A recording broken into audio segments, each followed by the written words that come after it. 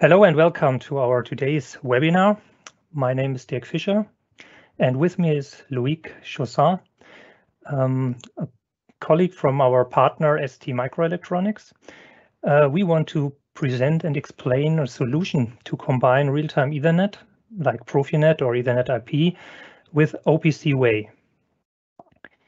Uh, let me provide some organizational um, notes first. So this session will be recorded. So you have the possibility to forward it to colleagues or watch it again later. Um, and uh, we also provide the slides of this presentation after the meeting. So you will receive an email with the material. Um, we prepared a short survey. So we would like to um, answer you some questions about this webinar and the OPC UA in general. It just take one or two minutes and we really appreciate if you could provide some feedback. And we would like to encourage you to ask questions. So you have the possibility to enter questions in the Teams tool. Uh, we will reserve some time at the end to answer your questions.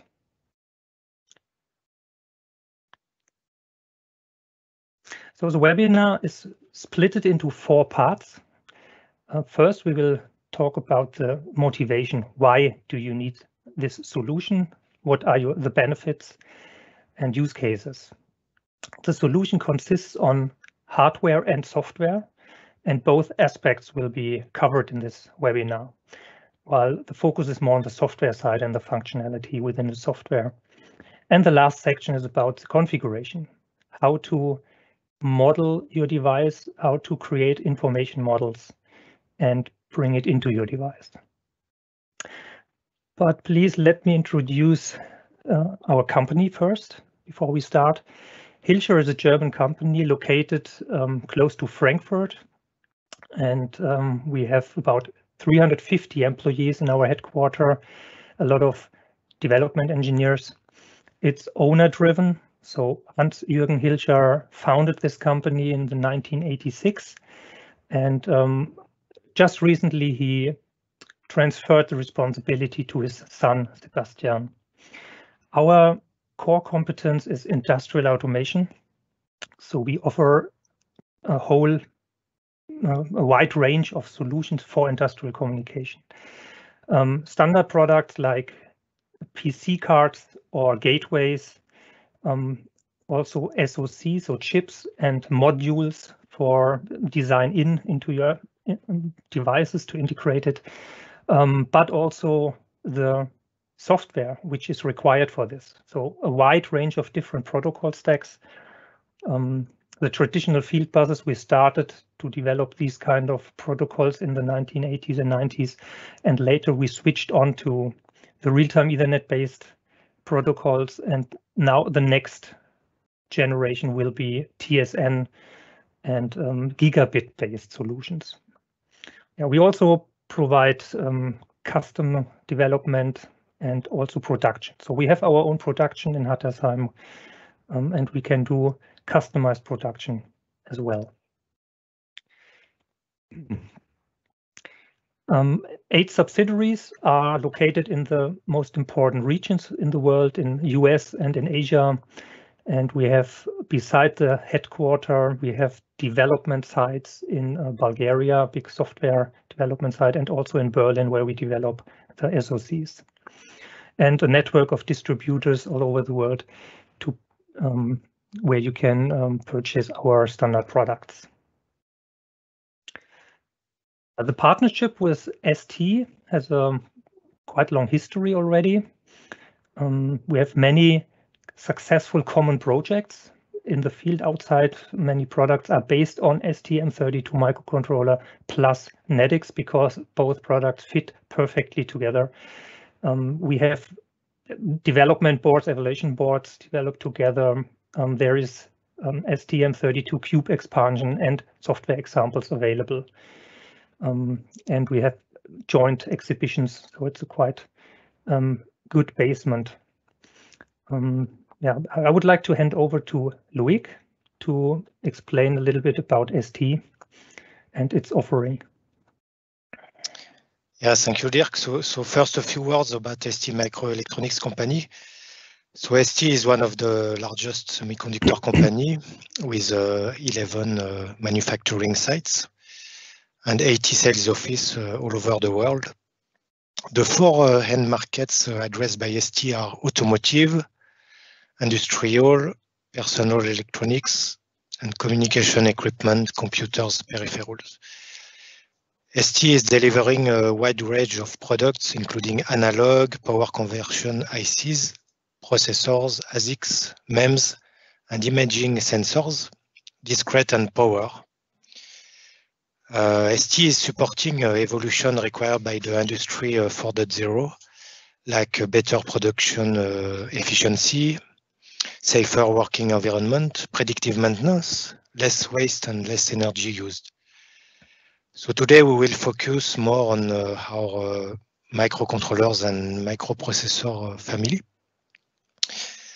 Uh, so this is uh, STM32. So uh, STM32 um, uh, is our 32-bit general purpose microcontroller and microprocessor family. It is well suited for uh, industrial applications and it is used by many uh, OEMs. here, here are some few examples about the success of STM32 in industrial markets. So you can benefit from the 10 years longevity commitment. So this uh, longevity commitment is renewed every year. Many, many devices are uh, proposed with an extended temperature range up to 125 degrees. Functional safety is also one uh, focus. So you have uh, features to, to support functional safety like flash and RAM uh, error code corrections, watchdog PWM protections. We provide safety manuals and self-test uh, libraries certified by uh, TÜV Rheinland. Uh, all this is available uh, free of charge and it, it will speed up your, your safety certification. So you can check uh, STM32 functional safety web page for more information. A security uh, framework has been defined also, which is called uh, STM32 Trust to help you protect your assets and reach the security assurance level. You can check again the, the STM32 Trust web page for more information. A consistent and comprehensive uh, software solution is offered for STM32.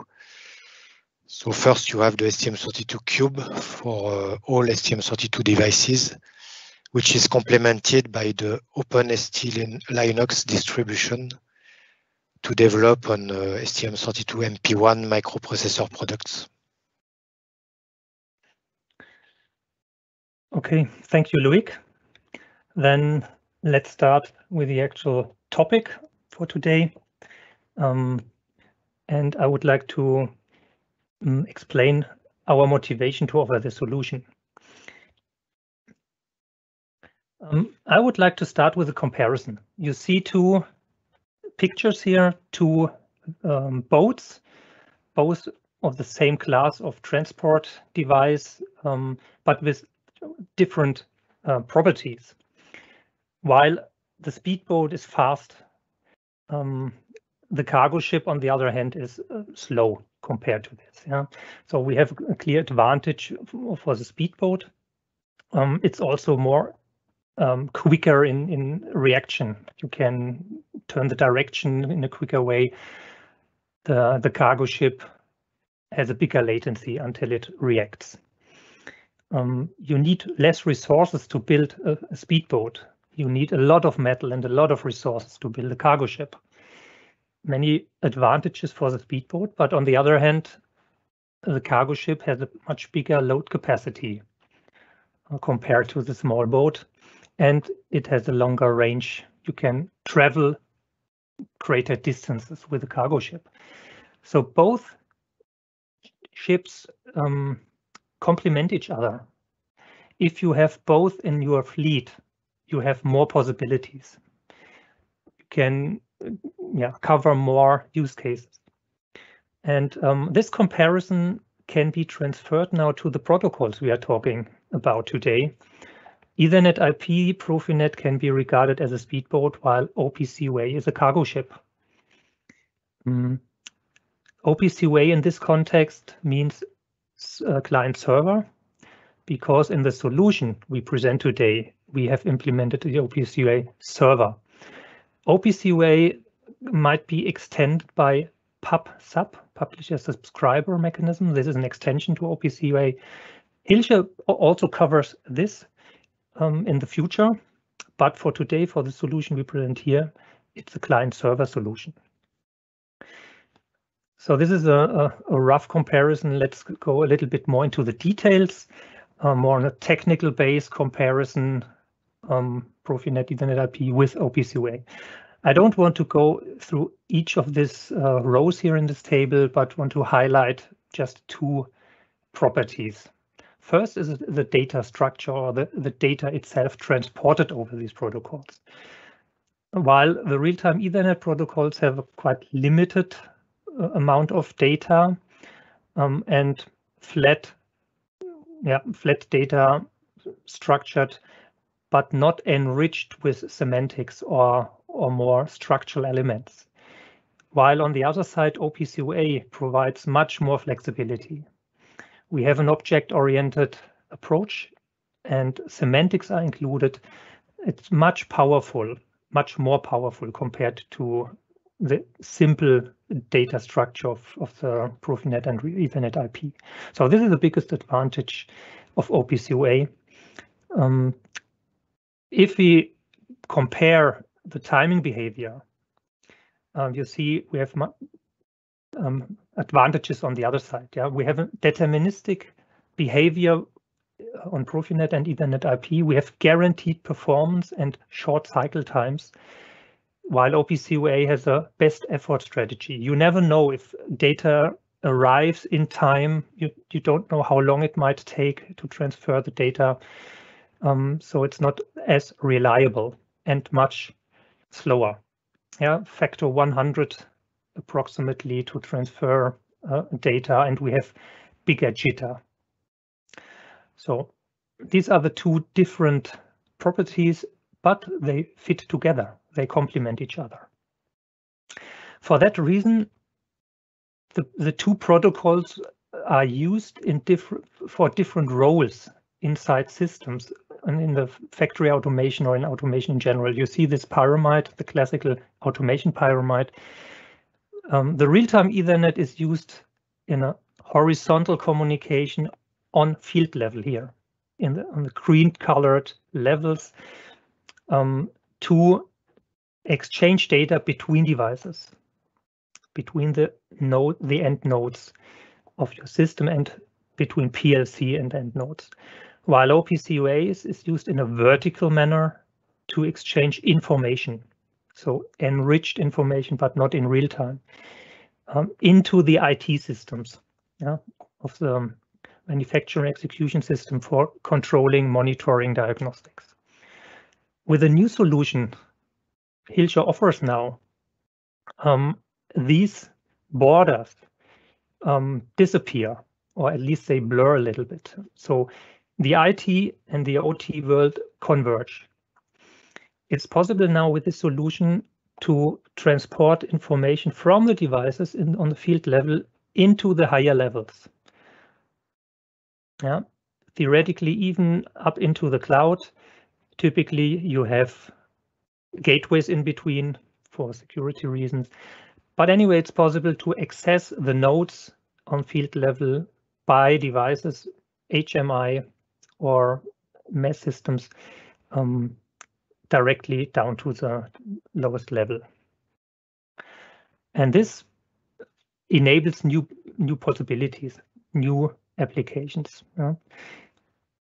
This functionality is available through the same infrastructure. Yeah, we use the same cables, same network to transfer both real-time Ethernet and OPC UA. Typically, our hardware devices offer two ports, as indicated here in this picture, so we can realize line topologies, daisy chaining, and through these cables, you can transfer OPC to an HMI to edge gateway, while Profinet is transported to the PLC on the same cable.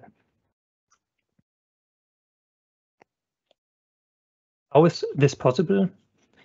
Um, th these real-time Ethernet protocols are based on standard TCP/IP. They have additional mechanisms to guarantee the, the timing behavior, to add real-time capability. But beside this, there's always some bandwidth left for standard TCP/IP, and OPC is based on standard TCP/IP. So we can use the blue portion here of the bandwidth to transport OPC data. RTE has higher priority, so the bandwidth for OPC might be limited in order to guarantee the deterministic behavior of the RTE. EtherCAT might be a question here, what's about EtherCAT? Because EtherCAT is not standard TCP IP, there it is vice versa. So EtherCAT provides um, tunneled Ethernet, it's called EOE, Ethernet over EtherCAT. And uh, there we have standard TCP IP inside EtherCAT. And there it's also possible to transport OPC but today we don't offer such a solution. Technically, it's possible. In the past, we did similar implementations already, but for today's solution, we don't offer it yet because the performance is limited. Because of this tunneling, um, you you don't have a good performance. It's it's quite limited bandwidth for OPC There might be more services beside OPC You might want to use a web server, and then you need additional bandwidth, and then it's get get quite slow for EtherCAT. So what are the user benefits? Mm, a device maker might ask you, why, why do I need it? I have my Profinet or Ethernet IP interface. That's okay, that's sufficient. But we see, think you have the chance to enhance your product, to add value and to differentiate your products with new features from the competition and also from PLC makers yeah, because now you have the possibility to provide data to the higher layer, layers of a system by yourself, by your device. Mm, I have heard from many device makers, they have a lot of data inside their devices, but it's unused. They don't have possibilities to transport it to, to the outside world, except the data which is required for the control, for the PLC. And now you have a channel to utilize this data just mine it. It's available anyway already. And yeah, OPC UA improves interoperability. You can um, talk with devices from other vendors, from other makers, because OPC UA is a manufacturer independent standard. And by supporting such an interface, you can add new functionality like asset management, condition monitoring, um, diagnostics and maintenance, um, and even device configuration over OPC UA um, is, is possible. So there are many new possibilities. Yeah, why OPC UA for this purpose, for this additional channel besides the real-time Ethernet? Um, OPC UA is platform and manufacturer independent. So it's well established already in the IT world. So there's a, a big amount of infrastructure or, or tools and everything available for OPC UA. Um, so it's quite easy to integrate this functionality into IT networks. Um, in Europe, particularly in Germany, we have um, an initiative, Industry 4.0, and um, there was a reference architecture model specified and defined within this Industry 4.0 um, project. And OPC UA is the only communication standard recommended in this reference architecture model. So it's really um, regarded as very important and very meaningful for these applications. We have powerful information modeling capabilities, and I will um, present the meaning of this later. What does it mean? Um, yeah, that's that's an important feature of OPC UA. So VDMA is a, an important machine builder association in Europe with more than 3,000 members. And this organization just recently published a study about OPC UA usage in, in, in machines. And 90% um, of the companies asked did already or plan to implement OPC UA interface into their, their machines and systems. About 500 companies were asked, and this is really a big amount of, or a big number of, of companies regard OPC UA as important.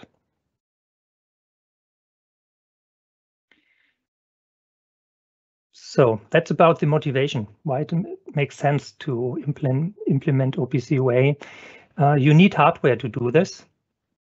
And Hilscher offers interfaces for that.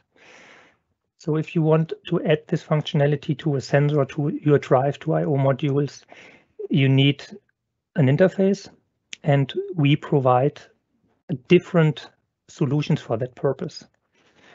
Um, PC cards, modules, and even chips, SoCs. So it's kind of scalable depending on your integration level. You can choose the right solution for your for your application, but the usage is always the same, and it uses always the same software. So from user from programmer's perspective, it's the same solution just different hardware. You have different hardware interfaces. The PC card comes with a PCI Express interface, while the module and companion chip features SPI interface to connect your host controller to it. And the chip even provides a parallel interface.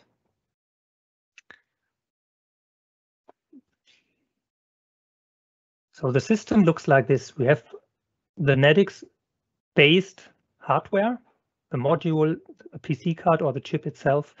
This typically provides two ports, and then you have the host interface to the host controller. So we have a clear separation between the communication part and the application part. The responsibility is also well defined and separated from each other. Yeah, if you look into the structure of the firmware running on the communication side, you see all parts are provided by Hilscher.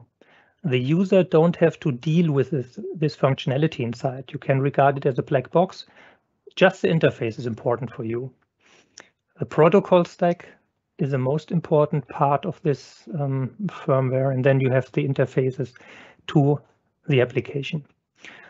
So maybe it's more interesting for users, for, for you to look on the application side. So on an, any kind of STM32 microcontroller, um, you run your own user application, the blue colored layer here, and Hilscher provides a driver for this purpose, so-called cifX API. And the application use functions of the driver to communicate with the communication side.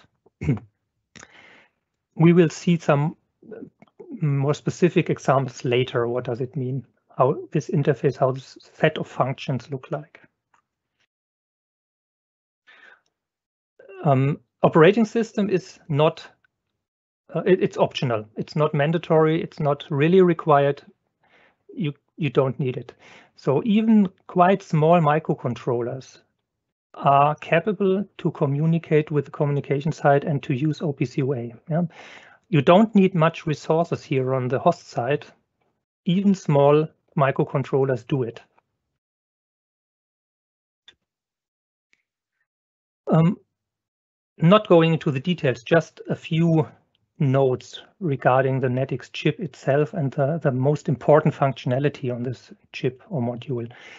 Um, our important functionality is called XC. So this is a technology, it's a very flexible communication module the XC modules. We have two of them on, on our chips to implement two channels.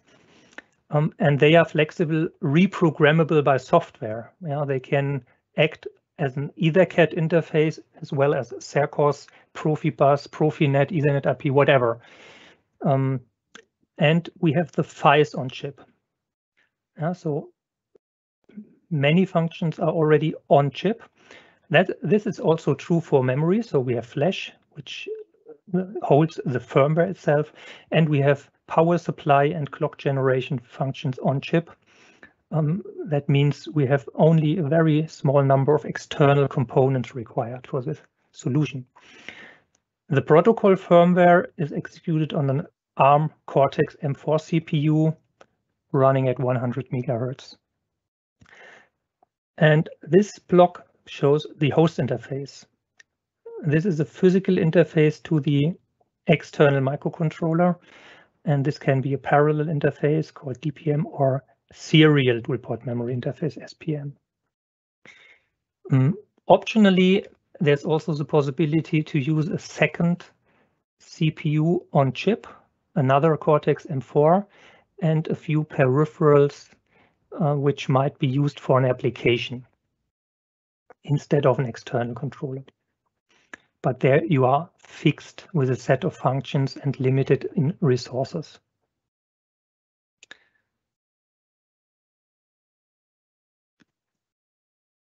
Development boards, if you want to start a development, um, you get different possibilities.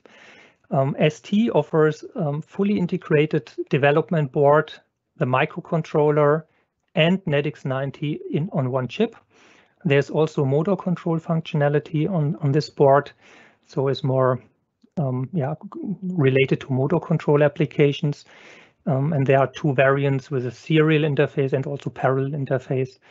A more generic approach is this. You use any kind of Nucleo or other development board for the microcontroller or even your own application, your own, own hardware, and connect it with an evaluation board for NetX 90.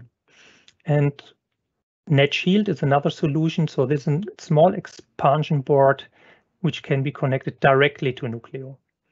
We have such a module available already for older NetX derivatives. For NetX 90, it is under development and will become available later this year. So you see in this picture, we have NetX 90 connected to a microcontroller, and that's the big advantage and provides big flexibility um, because you can scale this microcontroller. And uh, I would like to hand over to Loic again, uh, because he can tell you about the portfolio of microcontrollers which can be used here as a host controller, depending on your requirements for the application. So yes. Yeah, thank you, Dirk. So, so indeed, we we propose a wide range of uh, microcontrollers and microprocessors. Many devices with uh, high performance, real-time capabilities, uh, digital uh, signal processing, low power operation, connectivity. So among the latest uh, introduced STM32 series, uh, okay, I can mention the, the STM32H7 and STM32MP1 if you are looking for uh, performance. Uh, you have the, in the mainstream, you have the STM32G4 for motor control or digital power. STM32G0, which is a, a lower cost uh, microcontroller with Cortex M0. STM32U5 in the ultra low power family, if you are looking for more security, for instance. And uh, we have also wireless uh, microcontrollers with STM32, WL and WB to implement Bluetooth Low Energy, ZigBee, LoRa, or wireless MBUS. Um, all this portfolio is complemented with a comprehensive ecosystem. So on the right side, you can see all the content with software and tools. Uh, okay, if you are going to the STM32 web page, you, you will have all the links. Um, and on, on the bottom side, you, you can see all the STM32 solutions like motor control or safety and artificial neural networks. So you, you can check uh, all these solutions on ST web page. Uh, so in terms of ecosystem, so the, the ecosystem is continuously growing. Uh, so it is based on STM32Cube, which is a, a software solution for STM32 including software tools as well as embedded software libraries. So the software tool can address uh, the, the complete project development cycles, starting with a configuration with STM32CubeMX. Then you have STM32Cube IDE uh, to uh, compile and debug. And then you, you have STM32Cube Programmer and Cube Monitor. So in terms of embedded uh, software, you have many uh, software bricks available in this ecosystem, which is also complemented with some STM32Cube expansion provided by ST or by uh, some partners. So for instance, we, we have seen that uh, Hilscher is providing a STM32Cube expansion in order to connect the NetX uh, device to the STM32. Uh, you have also many uh, hardware boards available, uh, like Nucleo or Discovery kits, to allow uh, a fast evaluation or prototyping also. And last but not least, you, you can rely also on many online resources and community uh, with the trainings, massive open online courses, videos, and a network of partners to help you uh, at any stage of your uh, STM32 project, starting from evaluation, prototyping until the design and the production.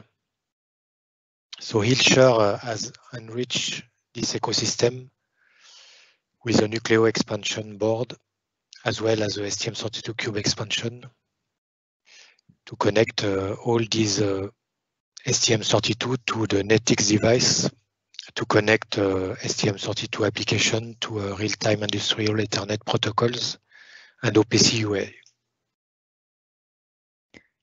Okay, thank you very much, Loic. Um, now we can start with the software side of this solution. Um, before we go into the details, I want to introduce a term, an OPC related term, information model. That's an important part of OPC um, because it represents typically a device.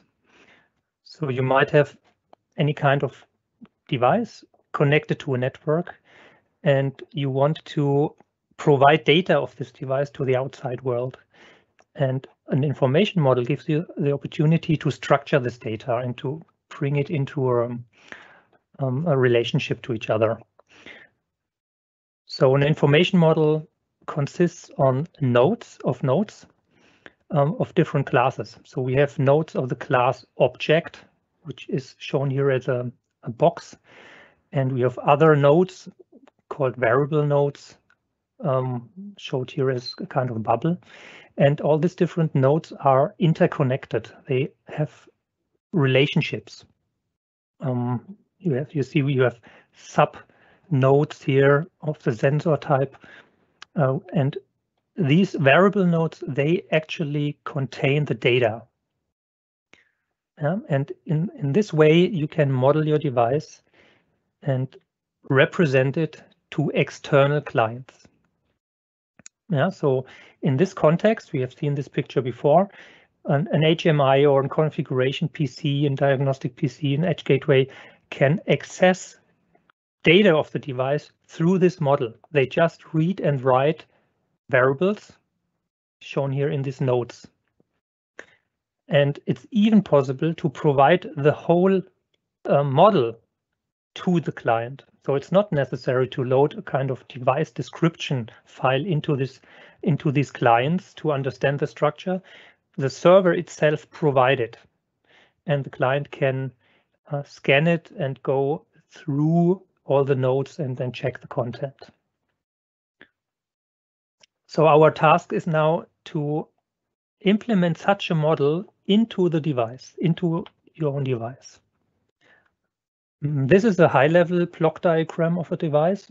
We have the separation. You remember the application side based on the microcontroller and the communication side based on the NetX chip. So we have two parts of the firmware. The yellow box represents the software, the firmware. And this model is somehow inside the software. So step by step, I want to go into more details of this implementation. So next level would be to check what's the interface between both firmware parts. Um, we have a dual port memory in between. Yeah, physically, we have the SPI or parallel interface. And through this physical interface, you access memory, read and write memory from both sides to exchange data. Physically, the dual port memory is located inside the NetX. Yeah, so the no resources on the host controller are required for this purpose. So on the application side, we have two kinds of data. We have seen this before. We have distinguished the, the two colors, green for real-time data and blue for the slower best effort data, additional data, OPC UA based. So, and we have this separation also in our application, even in, in the code, we can clearly separate these two parts. Um, uh, real-time I.O. data, the processed data image as a kind of image yeah, flat in, in the memory. On the other hand, the OPC data is, um, is structured in as objects. So we have a more abstract view. Um, you can use C structures to hold abstract data objects.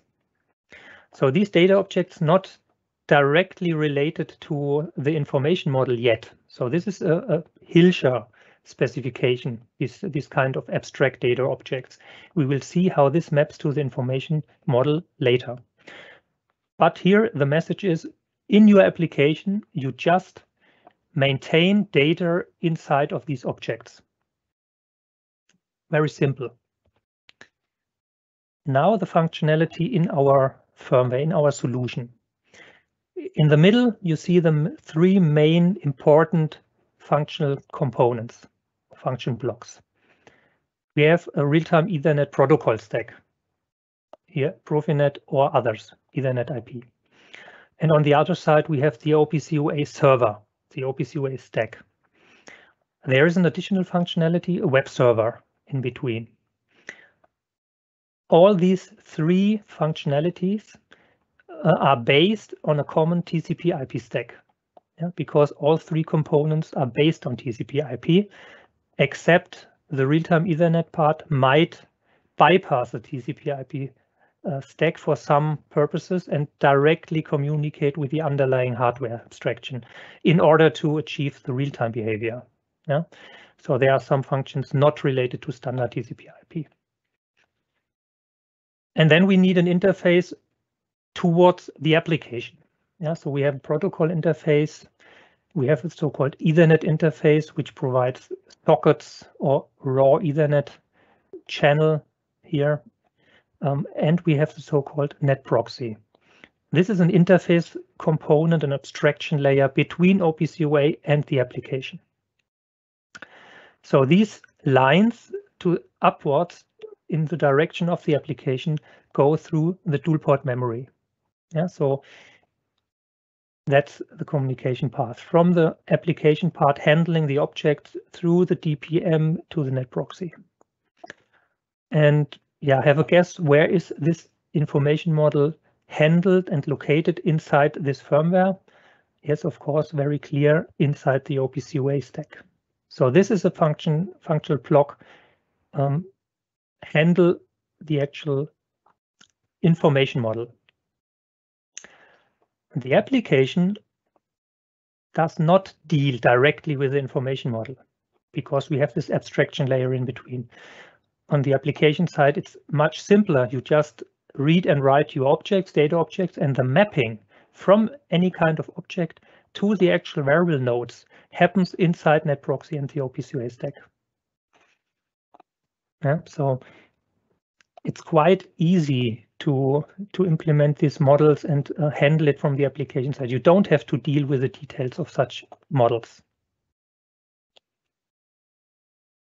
Um, OPC UA server in general um, cover a wide range of, of, features. So these OPC UA servers have a lot of different um, functionalities and it's scalable.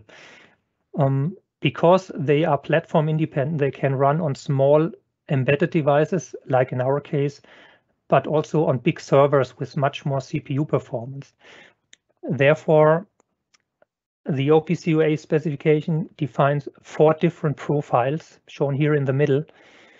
The nano embedded server profile, micro embedded server profile, embedded and standard server profile. And with our solution, we cover the two lower profile uh, variants, the nano and the micro embedded uh, server profile. So these profiles define a set of functions provided by the solution. And in addition, there are so-called facets. These are optional additional features and function blocks. So we add some facets, optional facets in our solution, um, but we won't go into the details here at this point in the presentation. The server implementation is based on an open source project. So we use the Open 6245541. Um, and um, this is an open source project published under the Mozilla license. Um, we actively contribute to this project. We develop this stack and we um, yeah, provide our development back to the project and contribute it. Um, our solution passes the compliant test tool tests. Um, this test tool is provided by the OPC UA Foundation, um, and we also participated in PlugFest. Just recently, um, there was a virtual one in some weeks ago where we test our solution together with other suppliers, with, with some other companies. Yeah, related to the software, one last um, slide about the interface towards the application. Um, I mentioned this driver already. So for the host side, the microcontroller side, Hilscher provides a kind of driver, cifX API. And on top of this driver, we provide an additional software layer, which is called Host API. And this Host API provides high-level functions to access the objects as well as the cyclic I.O. data, the real-time data. So here you see, see some examples, um, read object element, write object element, or read input, write output for the cyclic process data. So it's quite easy to, to use these functions to modify content of these objects. Mm, there are also um, indications and callbacks. You can register callbacks whenever uh, a node inside the information model is changed from outside. Yeah? Let me go back here. If an external client write one of these variable nodes, for example, the mode, um, the OPC UA net proxy inform the application. So that they send a, an indication towards the application and there a callback is called whenever such a node was modified outside. Yeah, this is to get um, a basic understanding how this API looks like. Now, the question, how can we define such a model? Yeah, we have assumed we have this model somehow inside the server, uh, but this is flexible. It depends on the device. Uh, the user want to modify it or want to create it. And how can we do it? Um, for this purpose, Hilscher provides a tool. It's Communication Studio. And in the next slides, I want to explain the configuration flow. Consists of some steps and um, just a simple overview how to configure your own information models. In the first step, you have to think about it, how to mm, yeah, model your device yeah, on paper or in any form, just to get an idea how you would like to structure your device. And then you can start the actual um, definition of the, the model inside the tool. Um, there are three steps. The first step is, is not so important. We will not mm, cover it here in this presentation. It's just basic configuration of the server. For example, which TCP IP port is used for the OPC UA server and these kind of stuff. It's not related to the model. Then the second step is the most important one. Here, you define this model shown in this picture. Typically, as a user, you don't define such a model from scratch. Typically, you use uh, so-called companion specifications. So they can be regarded as a kind of template. And for all kind of different applications and device classes, these companion specifications are available now. So many user organizations define companion specs for their particular use case, like scales, drives, send all kind of different sensor types. There are particular companion specifications and you can import them. The companion specs are typically provided as an XML file and you can import this XML file into our tool and then use it as a starting point for your own model. Um, in addition to the companion specs, there are some basic namespaces, or you can regard this as a definition of types, standard types, which are built in already in our tool. You don't have to import. They are already there because they are very fundamental. And um, this is important, the DI device integration profile, which is a, a very generic device representation. And you can add more information models on top of such a DI typically. After you have modeled the device, so you have specified this, this uh, information model, then you have to map it to NetProxy objects. So this is Hilscher specific as a third step, and then you can export the configuration and download it into your application. To get a rough overview how this looks like, I will show two screenshots, one of this step and another one of this step. Yeah, so this is a tool, Communication Studio. On the left-hand side, you see the Project Explorer and the different steps of the configuration I shown here. Second is uh, number two is the most important one because information modeling um, yeah, is a fundamental of this. Here you can see the imported namespaces or the available namespaces. Um, the basic ones, the UA and the DI namespace. And in this example, we imported a companion spec for scales. So we have this namespace for scales and you can use the type definitions here in your own model. And coming back to our simple example, this device with sensors and actuator, um, here you can see the sensor node.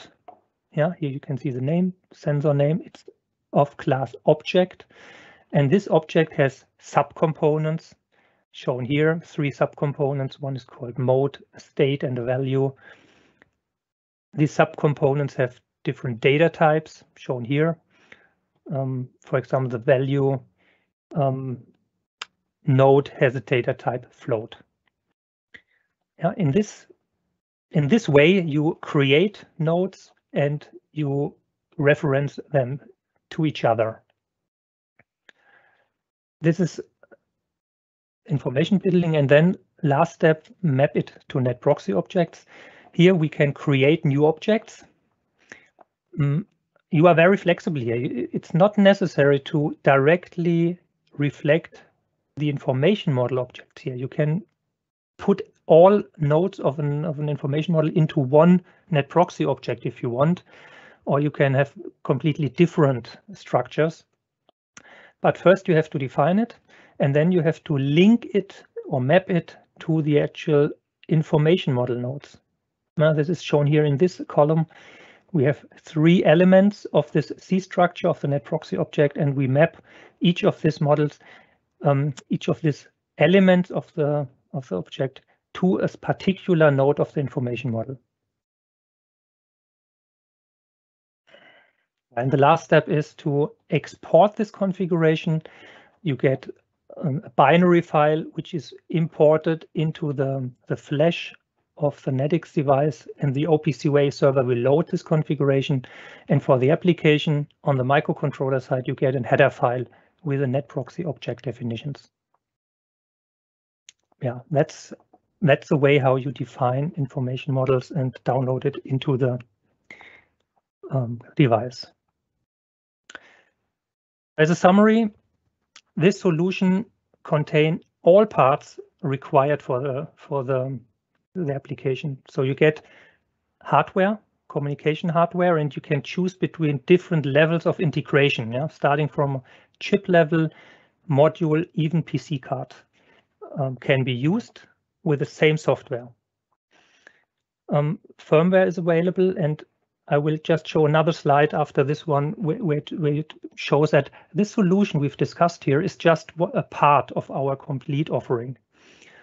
So you have the possibility to scale down or up the set of functions in firmware. And the tool, of course, is part of the solution to define your models and configure the OPC UA stack.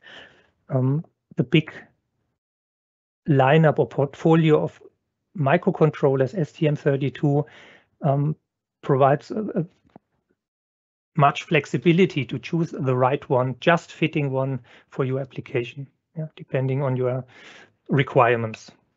For motor control, you need different controller than for simple sensors. This is for your reference. You get, you will receive these slides and you can check the links where you can find more information. That's what I mentioned. This firmware we've discussed here in this webinar is a high level of, of um, set of features, but you get also variants of firmware with less features. Yeah, so the simplest one is basic field bus without without OPC UA, without web server. It's just um, standard field bus. Um, we have real-time Ethernet protocols firmware and um, with extended web server and now the biggest feature set even with OPC UA. Um, some of these feature sets require more resources. So for the OPC UA solution, we need external memory.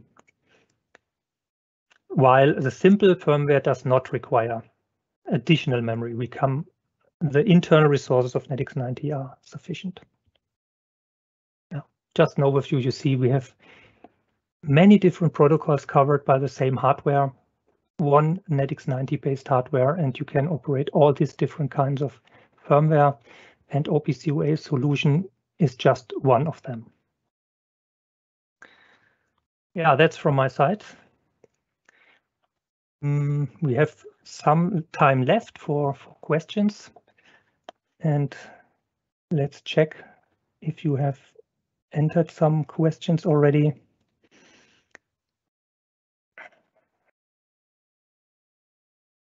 Okay, there's one.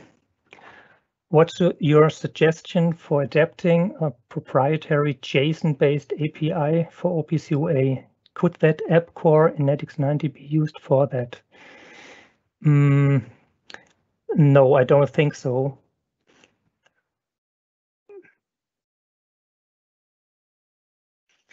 Mm, so I think so the, the API for on the communication side is fixed. Um, maybe it's possible to add um, abstraction layer into your application. So your application may use your own proprietary JSON-based API, and you have to map this to NetProxy objects. Um, it could be done on the application side in the microcontroller. But um, on, on the communication firmware itself, we don't have this kind of flexibility.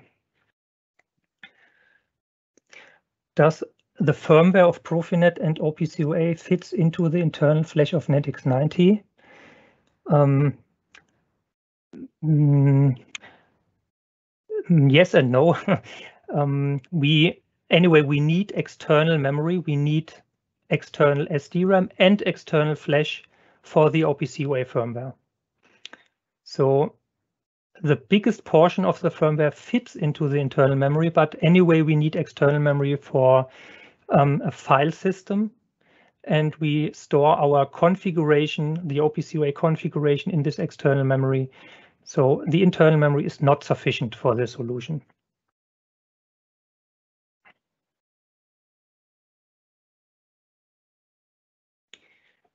Okay, there's another question. Does Hilscher have a product that contains a NetX and STM32 on one board? Um, no, we don't have a standard product combining these two components as a product. You have seen the evaluation board or the development board is available where we have both components on one board, but um, this is not a standard product. Um, I think it's it also doesn't really make sense because STM32 provides a, a, big flexibility in host controllers and which one should we choose for such a solution. So I think this, it's necessary to develop your own custom hardware for this purpose. Another question, does ARM Keil operating system have any support for this? Um, no, there is no direct support or direct implementation of this Keil OS. Um, of course, you can use ARM Keil OS on the on the application side and integrate our driver on top, but there is not not a, a real direct integration.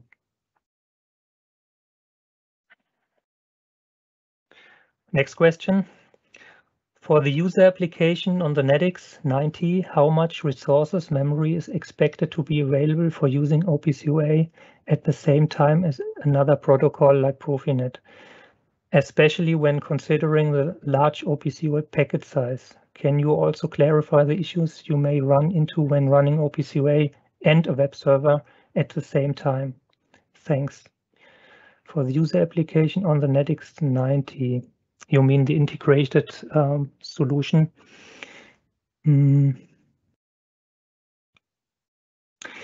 I mean, the protocol functionality, both Profinet as well as OPC completely runs on the communication side. On the application side, you there is no functionality directly related to OPC or Profinet.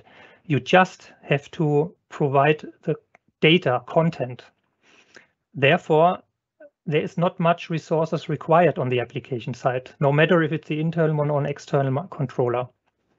Um, um, you have, yeah, it depends a little bit on your information models, how large they might be.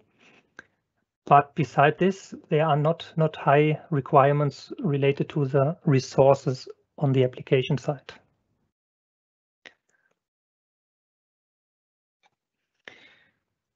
Another question, there are many software layers in NetX 90 and host CPU. Each layer needs processing time. Do you have a performance measurement with SPI? Um, yes, um, I, I don't have a, a slide here, but um, of course, you have to consider the possible um, real-time cycle time, real-time Ethernet cycle times. And um, in our experience, the SPI interface was not really a bottleneck. So you can achieve one millisecond cycle time, which is the minimum for Profinet, RT anyway, or also Ethernet IP one millisecond. And um, normal I.O. process data uh, sizes like, let's say, 100 or 200 bytes um, is, is possible to achieve because the SPI frequency of, of NetX 90 interface uh, can be very, high. So you can really have maximum CP, uh, PC, SPI frequencies. And um, yeah, this kind of um, um, combination, cycle time one millisecond and 100, 200 byte AIO data are possible beside acyclic uh, data. But if you have more um, requirements, so even shorter or um, yeah, sub millisecond cycle times, then it, it is necessary to have a closer look and you might consider to use a parallel interface. Um, if this is a critical question for you, you we can also have um, a communication after this webinar. You received our contact details. And um, anyway, if there are more questions afterwards, don't hesitate to contact us. Uh, we are ready to provide answers. So are there more questions? No, that seems not the case. Then I want to say thank you for your time, for participating this um, in this webinar. Um, as we announced um, earlier, we will provide the slides um, in an email. And again, I would appreciate if you take one or two minutes to answer some questions about this webinar, provide feedback um, if it's necessary to improve. Yeah, thank you very much. Then we close this session. See you next time. And also thank you, uh, Loic, for supporting this session here. You're welcome. Thanks to you. Yeah. Bye-bye. Bye.